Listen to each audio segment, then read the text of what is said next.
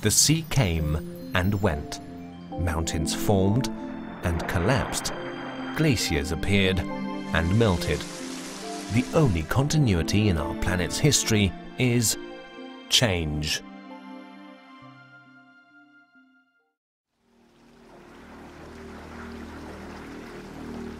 When the late Ordovician glaciation came to an end, more than 50 million cubic kilometers of ice were transformed back into water.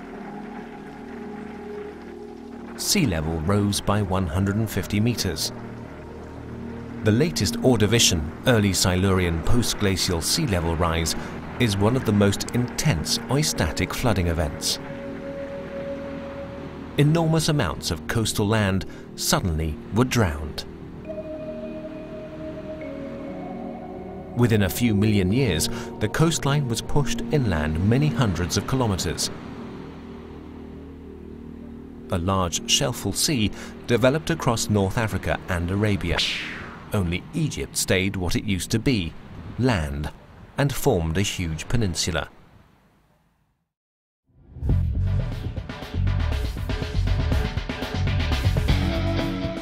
The modern Barents Sea in the Arctic Ocean may be a small-scale analogue for what happened during the early Silurian in North Africa.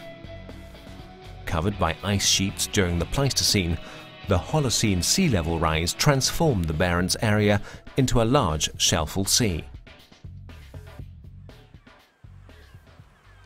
Today the ice sheets have long gone, but the Arctic cold still has a firm grip on the area. The winters are tough. Surface waters are greatly cooled down and sink into the depth of the sea, as if to hide from the unfriendly forces of nature. Other, slightly less cold water masses rise to the surface and take over the vacant place in the winterly front line. The rising waters are bringing with them precious nutrients from the deep, food for tiny plants, the phytoplankton. As spring arrives, enormous amounts of Russian and Scandinavian meltwater enter the Barents Sea. The light, fresh water forms a stable layer on top of the seawater. The highlight of the year, because now, undisturbed by the winterly vertical circulation, the phytoplankton can finally concentrate on what they like most, food. Abundant light and great amounts of nutrients in the upper water layer generate a large phytoplankton bloom. Organic material that eventually sinks to the sea bottom in large quantities. As the summer approaches, the nutrients are finally all used up and the party is over. Until it starts all over again in spring of the following year. The seasonal phytoplankton dance of the Barents Sea gives us a first idea that some cold water ecosystems are capable of producing large amounts of organic matter. The intense Silurian transgression in North Africa stopped all sands and coarse detritus at the river mouths. Only muds and some silts were able to exit onto the shelf where they built up piles of hemipelagic mud. Rarely sand packages were mobilized by storms or gravitational instability at the coast and were transported onto the shelf as tempestite or turbidite mass flows.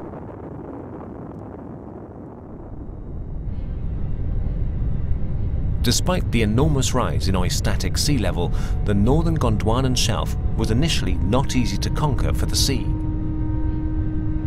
It was surely not a flat platform or ramp, not at all the glaciers had left behind a chaotic battlefield. A complex network of lows and highs dominated the shelf. Valleys and mini-basins carved out by ice and meltwater. Hills that had escaped erosion or that were newly formed by glacial fans or other glacial sediment dumps. Clearly, a good understanding of the Ordovician glacial system can just be an advantage for the study of the basal Silurian shales.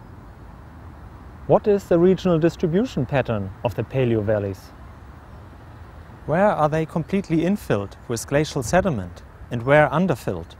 where have they left some room for the Silurian transgressive muds? During the initial transgression, only the low-lying areas, the paleo depressions, were flooded by the sea. Many of the highs were islands at that time, or they were covered by so little water that they were still in the turbulent wave zone, where only sandstones were laid down or non-deposition prevailed. The lows gradually filled up with mud, a very special mud, the fuel for hundreds of Saharan and Arabian oil fields. The Silurian Lower Hot Shale, the basal part of the Tanezzuft Formation. The black mud contains up to 18% organic matter of marine type 2 kerogen.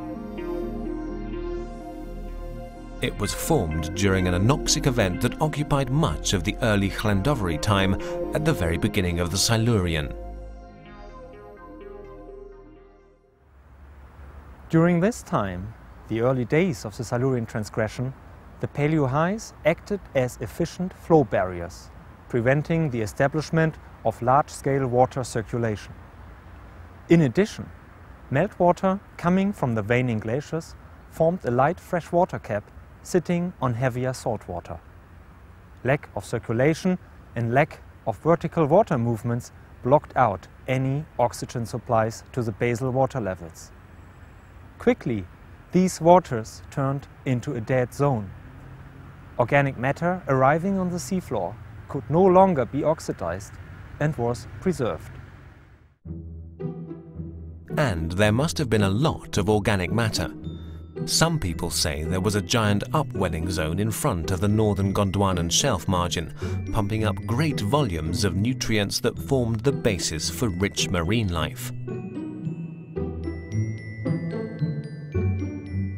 A typical modern example of a coastal upwelling zone is the Mauritanian upwelling system in the Atlantic. Here, northeasterly trade winds push the coastal waters seawards, which are replaced by cool bottom waters rich in nitrate and phosphate. The nutrients feed large quantities of phytoplankton that forms the basis for zooplankton and fish. The Mauritanian upwelling system is active almost throughout the year and produces large amounts of organic matter. The early Silurian black organic muds were deposited across North Africa and Arabia, and probably as far away as South America and India. Not as a continuous layer, but restricted to the earliest Silurian paleo depressions. A mosaic of hot shale patches surrounded by higher areas that the hot shales couldn't reach. If we have a very deep low, so we have a very thick shale. So the, uh, the hot shale has followed the pattern of the paleolows at that time, at the paleotopography. On seismic sections from the Murzuk and Kufra basins, we clearly see the hot shale onlapping against the margins of the paleo depressions. The hot shale is marked by strong seismic amplitudes as sound waves travel much slower through organic matter than through normal organically lean shales. And there's also another very useful fingerprint that the hot shale leaves behind wherever it goes. The hot shale is markedly enriched in uranium and can therefore be easily detected on gamma-ray wireline logs. How does the uranium get into the hot shale? In all seawater, there are traces of uranium, in fully oxygenated waters, the uranium is dissolved as U6+. Under anoxic conditions, however, the U6 is reduced to U4 precipitates, and is incorporated into the sediment. Sediment that also accumulates and preserves large amounts of organic matter and the data we have show that uranium, gamma ray and total organic carbon concentrations are nicely interlinked in the Silurian hot shale of North Africa and Arabia. The higher the organic matter content, the more uranium is fixed in the sediment. So once this relationship is empirically established, it's easy to approximate the TOC using uranium or even total gamma-ray data from wireline logs. Using the characteristic gamma-ray hot shale kick at or near the base of the Silurian, the hot shale patches can be nicely mapped out.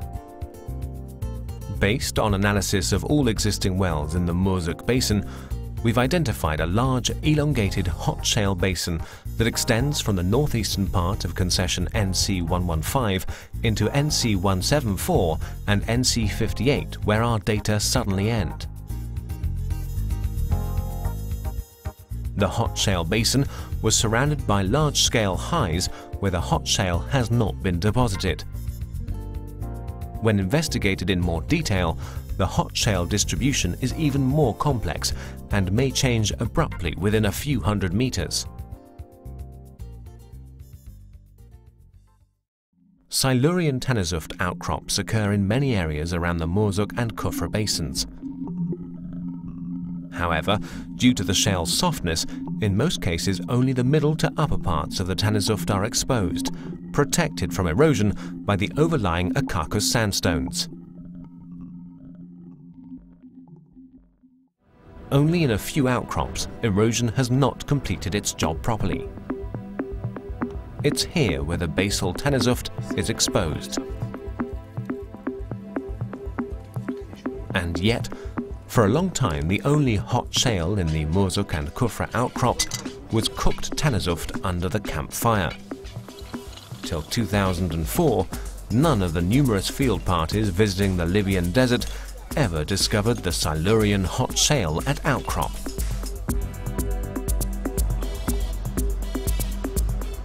A time of wild speculations. Were the Kufra and Murzuk margins possibly paleo highs during the early Silurian and the hot shale absent. This would have had immediate source implications for blocks away from the basin center. Or was the hot shale hiding somewhere and just fooled the geologists?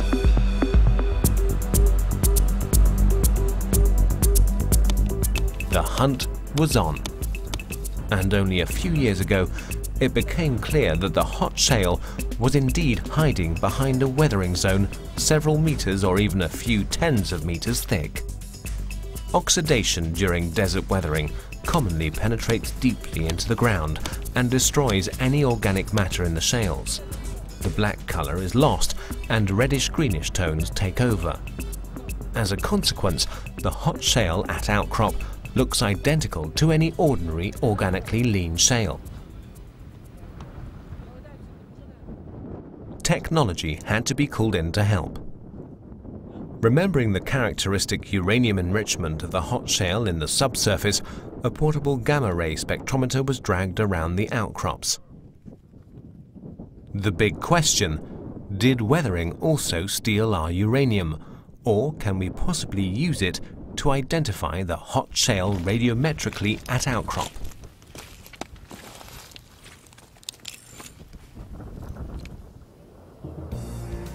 Uranium values in the first test section in the Ghat area were disappointing 4.1 ppm, 5.2 ppm, 3.9 ppm, typical values of a normal shale. The second section, 19.2 ppm. A significant uranium enrichment was detected. Then 17.5 followed by 45.8 ppm. The hot shale gamma kick was found and the field team greatly excited. Uranium-enriched intervals were also found in various other sections, always at the base. Proof that the uranium hadn't moved. Finally, a tool was found to map the hot shale around the Murzuk and Kufra basins. The main technique we used is called gamma ray spectrometer. So this technique, they measure all the radioactive material which are present on the exposure.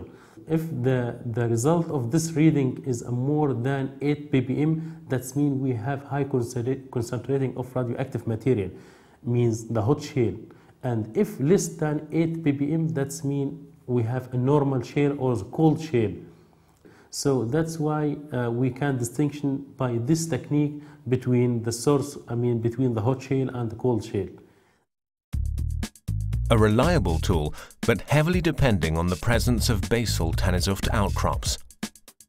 And the Ghat hot shale also demonstrated that large parts of the western Morzuk margin were certainly not a paleo high during the earliest Silurian. Otherwise, the hot shale would not be there.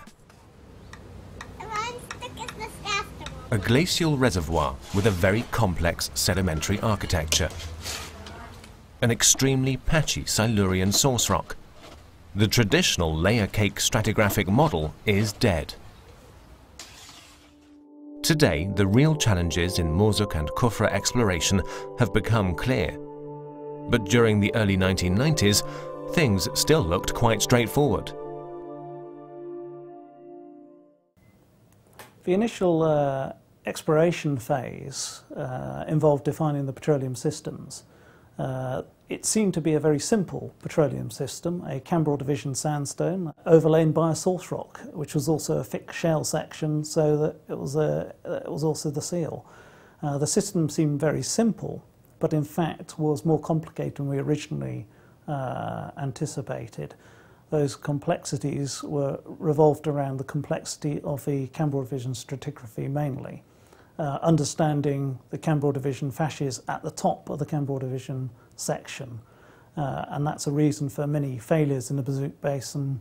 The sandstones are not in a good reservoir facies. The other uh, issue uh, involved the sourcing and the charging of these prospects. It was very difficult to define the Silurian source kitchen uh, and the the prospects with the highest risk, for example, elephant, uh, should not have been sourced when we did our ortho contouring, and yet uh, the ones with the lowest risks should have, and some of those were dry, or they had a small oil column on. I think what this says was we didn't fully understand the uh, source kitchen story, the migra migration story, and thus didn't appreciate the risks. We were too confident in our understanding of the model. Uh, if we'd recognised more uncertainty, then possibly we'd have a more open mind. Uncertainty and risk are essential parts of the hydrocarbon exploration game. We try to reduce uncertainty by working out models based on existing data that help us to predict the geology over large regional areas. When there's new data, we compare it to our model.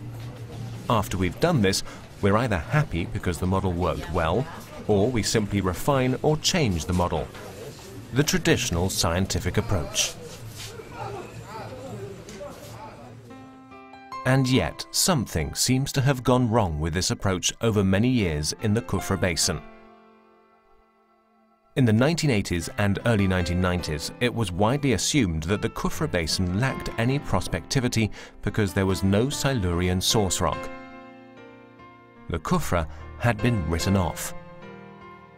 And it had been written off on the basis of just two wells, in a basin the size of Germany the wells A1 and B1 NC43 had been drilled in 1978 and 1981 by Agip Nami in the northern part of the Kufra Basin. The basal Silurian hot shale was indeed absent in these two localities, but how about the other 1 million potential localities in the basin? Even in a Silurian layer cake model, a layer extending over 400,000 square kilometers cannot be characterized by just two data points. Then on such vast basins, two wells, I mean, they cannot tell the world about the source rock.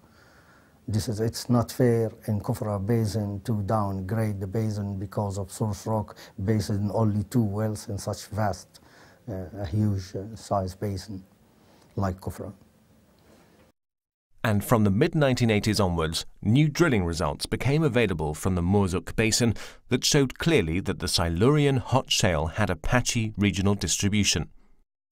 Still, the Kufra verdict wasn't changed. It took nearly until the new millennium for Kufra to get a second chance.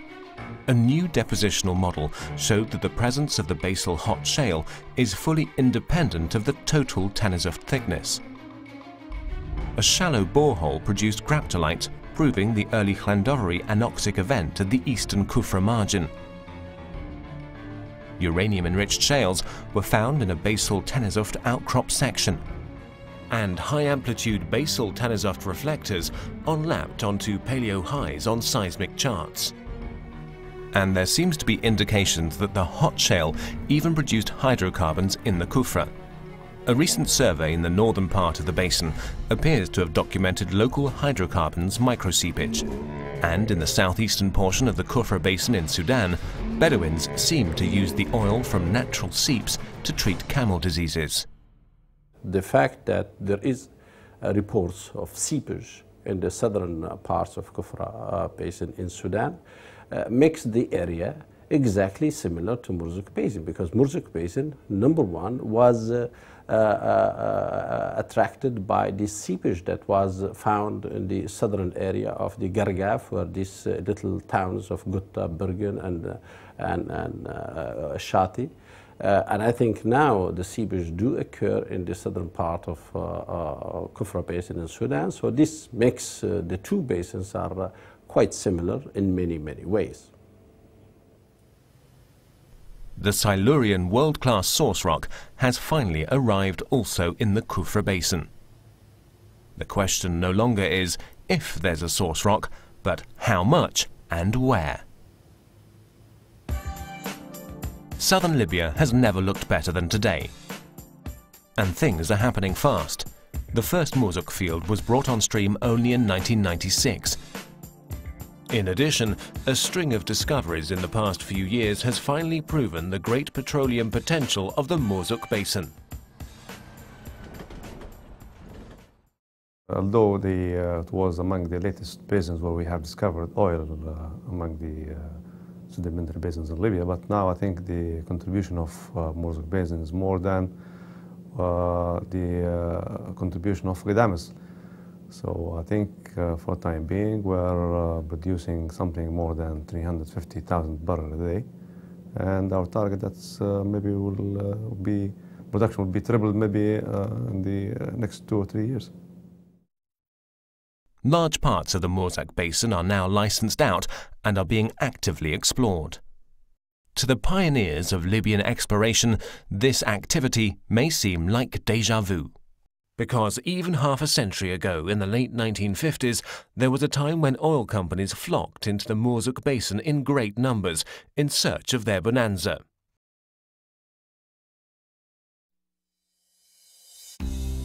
It all began in 1956 when a French consortium operating in eastern Algeria near the Libyan border discovered the large Edjeleh field in the Illizi Basin.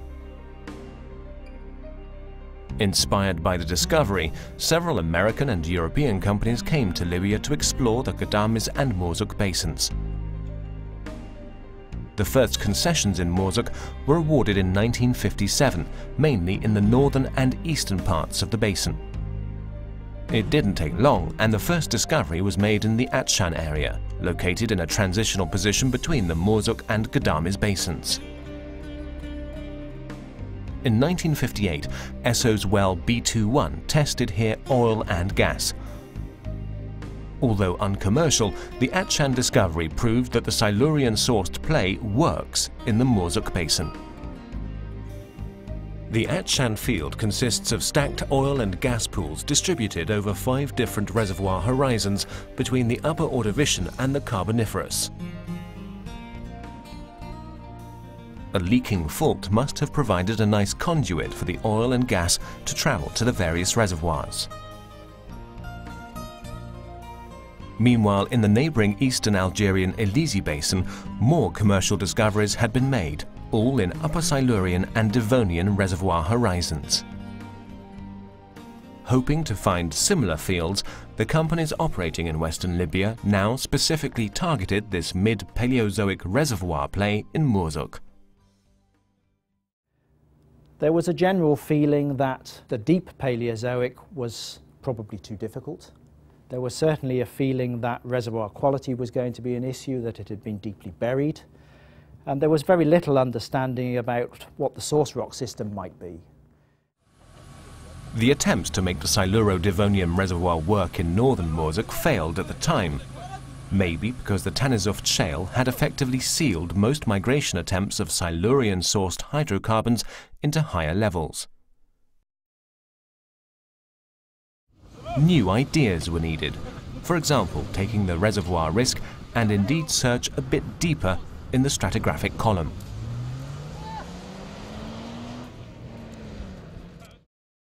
Gulf also made a discovery this time, the A1 uh, which discovered oil in uh, Ordovician sandstone reservoirs sealed by basal Silurian shales, the Tanezzuft Formation. Um, this turned out to be a key discovery, but it was pretty much ignored at the time. They were busy years for the young petroleum industry in Libya. Companies came with great hopes and invested in their luck. By 1960, 70% of the land area of Libya was placed under license, including all of the Ghadames and northern Morzuk, but none of the Kufra Basin. There was still little data around. The creativity of the oil company geologists was needed. Some play concepts were simply copied from neighbouring areas, others newly developed conventional ones and really crazy ones. It was clear the geologists needed to talk to each other. They needed a forum to exchange ideas and data. The uh, Petroleum Exploration Society, which is the uh, pre-society before the, uh, the, the Earth Science Society. It was established in 1958 and uh, where an international group of uh, geologists together with the local geologists were, uh, formed the, this society and from that time on more information uh, uh, was accumulating every year. And the main fellow who pushed that was Pierre Burollet. He also was the first one who initiated to publish a, a lexicon of stratigraphy. In 62 or 63, the first Sahara Symposium took place in Tripoli. And there it was practically the first time when uh, results of companies, of oil companies, became public. And it created an, an atmosphere of open exchange, of relatively open exchange of surface geology information. Not necessarily subsurface. Subsurface uh, exchanges were in, in uh, the normal terms. You, you uh, offered a certain well and you got another well in exchange. But surface geology was relatively open exchange. Uh, I was the one who got the award for the best paper which was uh, very interesting because at that time I spoke much worse English than now, and as you can hear, my English is not the best. But uh, it was uh, mainly due to the fact that I was the one who first understood, or at least who first published and talked about it, that there was a, a definite change in structural uh, behavior, structural setup towards the end of Silurian. In other words, what we in Europe would be Caledonian geology. And the place to see that and the place where I understood it is northern Dora Gussa in, uh, at the eastern edge of, uh, of Morzuk Basin.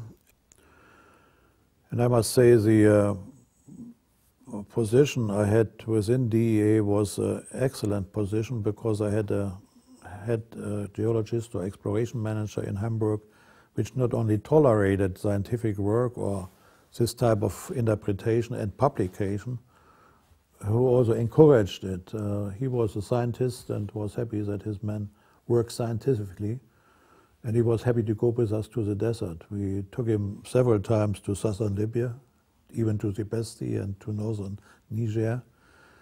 And I remember the first trip he was called back to Hamburg at the third day. That had one consequence. On the next trip, we turned off the radio. We, we told him it was broken. And so we made our two weeks in the desert without uh, having uh, uh, the order uh, for him to come back. It was characteristic during this phase that companies didn't rule out any region without having actively explored it, also in the Murzuq.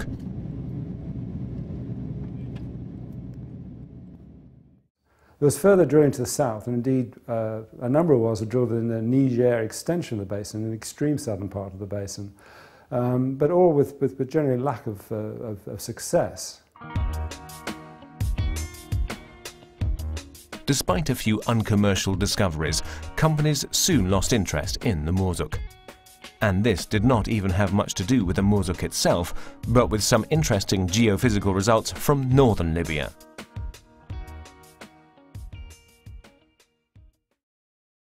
And meanwhile, uh, oil companies had uh, undergone quite a bit of uh, gravity and uh, magnetometry, magnetometric surveys and found out that the area between Ajdabiya and Benghazi, which we call now the Sirte Basin, uh, is an area with uh, very distinct subdivision into graben and horst structures with deep graben floors, and uh, so consequence was to concentrate more on that area.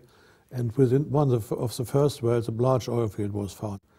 And this was the end of, uh, of at least intensive exploration in, in other areas. The Bahi field in the Sirte Basin was the first commercial discovery of Libya, found by Oasis in April 1958 by their well A132. In that same year, six other discoveries were made in the Sirte, nearly half of them were declared commercial. And all this during a time when in western Libya there were still no commercial finds in sight. The Murzuq had lost the race. Exploration in the following 30 years now concentrated mainly on the Sirte Basin.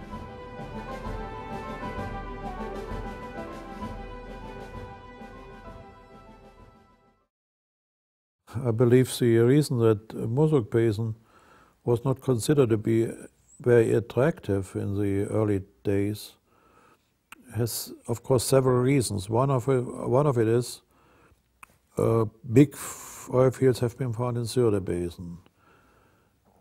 This is the first wells which found oil in, in Murzuq Basin or bordering areas were not, did not find much. The test results were in the order of a few hundred barrels maximum, while in the Sirte Basin it was several thousand uh, in, in average. So this is one reason. The second reason is the dis distance to, to an harbor or to the Mediterranean is drastically larger, bigger than from, from Sirte Basin. And the third reason is the Homra or Ghadames Basin was under exploration relatively early because this is uh, logical. It was uh, the area east of the successful uh, oil exploration of Algeria and southern Tunisia. So Edjeleh, for example, is at the Libyan border. And uh, there was no reason why there should not be oil in the, uh, in the uh, Ghadames Basin. Ghadames Basin underwent a very intensive seismic interpretation. It was full of seismic lines. It was difficult to find your way across Homra Basin. I went several times from Ghadames to Awenat, and I lost my way several times because of that. Um, but whatever oil was found on Ghadames Basin was little oil, was no big field, not at all. And I think even up to date is no big field in, in Ghadames Basin. And it is a similar basin as the Murzuq Basin. This is Paleozoic. It is uh, similar deep, but closer to the sea, not successful. So why should people go to the Murzuq Basin? I think that's the whole reason. We, we tried very hard to get our company, which was DEA at that time, to drill Jebel which is even further south. I mean, it's southern part of Murzuq Basin. A very large, 80 kilometers long and uh, 10, 15 kilometers wide anticline but uh, this was impossible to convince any management, and I think other companies had the same problem. We were not the only geologists were, which were interested in, uh, in the Murzuq Basin, but we had no success to convince management. Uh, during the 70s, exploration was pretty dormant uh, until Braspetro moved in in, in the late 70s and uh, followed through with a very aggressive exploration program, drilling wildcats in, in many parts of the basin. Uh, again, that was unsuccessful. And also Occidental tried their luck in Murzuq at that time, but these efforts were not rewarded either. Until this point, the Kufra Basin had been hardly looked at. Not a single well had been drilled, but this was to change. In the mid-1970s, Agip Nami carried out a full-scale exploration program in Kufra. An enormous amount of outcrop, aeromagnetic and 2,200 kilometers of seismic data were collected. But two dry holes brought this campaign to an end as well. In the 1970s and early 1980s, geological concepts and technology were not yet fully developed to make explorers believe in the prospectivity of southern Libya. But most of all, they lacked one thing luck. At that time, before 1980s, it was considered as a frontier area and that uh, the exploration costs will be very high. So the people now, they were not encouraged to, to, to, to, to, to work there and to explore that area. Plus even because of the reservoir pressure at that time, the wells never been flowed to the surface. So that's another negative point at that time. But nowadays, and plus the cost of the uh, oil, barrels of oil at that time is not does not encourage people to, to, to explore that area. Undeterred by the past failures, Eastern European companies stepped onto the Murzuq scene in the 1980s. The Bulgarian Bokul and Romanian Rompetrol explored large areas of the basin and understood quickly that it was in fact the Ordovician sands that were the most rewarding target. We have uh, three companies working in that time in this area. It was uh, uh, Rompetrol, Boko, and uh, Braspetrol. Uh, these companies, they have the very, uh, I can say, huge uh, blocks. The smallest one was for uh, uh, Rompetrol with 25,000 square kilometers. Myself, I joined uh, uh, Rompetrol in exploration stage. 1984 as a trainee geologist in exploration department and from there we started. Between 1982 and 1985, Rompetrol discovered various large fields in their concession 115 and laid the foundation for the oil boom in the region today. Um, Rompetrol, I think, had reserves of 500 million barrels in the uh, in the A field, um, Repsol bought the Rompetrol interest and found that there was indeed a lot more oil than they originally thought in those fields. Uh, and Repsol went about drilling new prospects, shooting new seismic 3D. Um, the quality of the seismic data of NC115 is excellent uh, because it's on a flat sand plane. While lack of funds prevented the Romanians from developing their own discoveries, they were indeed the first company in Murzuq to earn money from their activities. After the transfer of the Sharara field to Repsol in 1994, the reserves were re-estimated to be more than 1 billion barrels in place. Development was completed in 1999 and today the field produces about 160,000 barrels per day. So when Repsol joined the NC115, so they are found three main or three major oil field, which is called A field, B field, and H field. But now we discover and we develop the whole NC115. So at the moment we have four main fields. I mean A, B, H, including M field, and we have also a small structure which is called N structure, O structure, and we have another small structure called J, F, and C structure. Some of them is uh, under development, other ones is uh, planned to develop very soon, and other ones is postponed. Depend on the size of the of the field and the relation with the surface facilities. But we make our plans to reach to to our uh, production quota. Okay, and we are now on a good production level. I can see that uh, we have a very good uh, rate of success. It means that uh, a lot of uh, new discoveries achieved recently, which is giving us uh, uh, more interest points for uh, the basin. Uh, I'm surprised once uh, Rompetrol have made the discoveries in the NC 115 block that more companies didn't look at, uh, at the basin. And looking back, there was a prolific source rock there, world class source rock. There was a good reservoir system. Um, it's surprising that it wasn't recognised earlier. Following the Sharara giant oil field discovery in 1984, it took another 13 years for the oil industry to land the next commercial discovery. In 1997, LASMO eventually found the giant elephant field. Since then, various other fields have been discovered in the Murzuq Basin by Repsol, Total and partners. Um, during this period, um, the central and southern part of the basin was, was uh, largely ignored. Uh, there was very little drilling there. Um, but ultimately, around about 2000 or so, people started to think about the area and, and gradually moved down. Uh, Repsol drilled a well in the central part of the basin and Hunt drilled several wells in, uh, in the Niger extension. Um, again, these were unsuccessful. In 2004 and 2005, uh, Libya had the first of the EPSA 4 rounds, which uh, have really uh, triggered off uh, a new round of exploration in this area. And now we wait to see the results. Looking back at 50 years of trial and error exploration in Murzuq, activity can be split up into various phases. The presence of a working petroleum system was proven very early on. In the following 30 years, the basin was largely forgotten as interest had shifted into the Sirte Basin.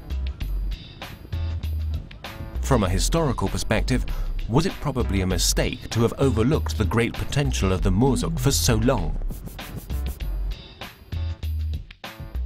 I'm not sure I would consider it to be a mistake to have um, overlooked that evidence, if you like. The evidence was very clear. I think it was much more a question of priorities. Uh, there were other places that we wanted to explore first that were nearer to facilities, that were nearer to populations of uh, centres of population, nearer to the coast, so we had a better export route. Uh, so I think it was simply a question of priorities. I think we recognised that there was good evidence that there were other petroleum systems around, uh, but we simply had other priorities at that time.